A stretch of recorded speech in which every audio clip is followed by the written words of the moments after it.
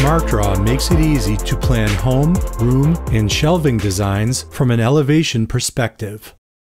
To get started, click on New Document and then Elevations, where you'll find elevation templates and examples for house facades, restaurants, stores, cabinets, and shelves. Choose one to start building.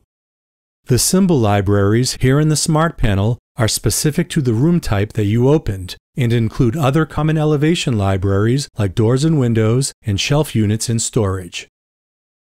Search here for any items you don't see by default in your libraries. Click Add Library to add any of them to your library.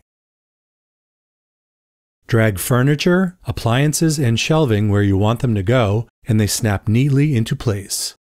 Change the size of any of these objects by dragging these black boxes or type in your dimensions here.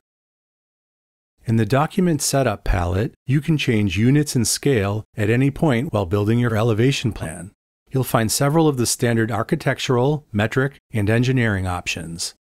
You can also customize rulers and grids in this section, and choose your level of precision.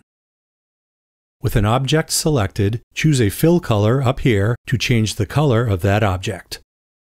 You can change the color or texture of a wall or surface just as easily. If you're organizing a shelving unit, you may want to add text. Just type with an object selected to add text to it, or use this text tool in the Smart Panel to add text anywhere else. It's so easy to customize your elevation plan for any home or commercial space.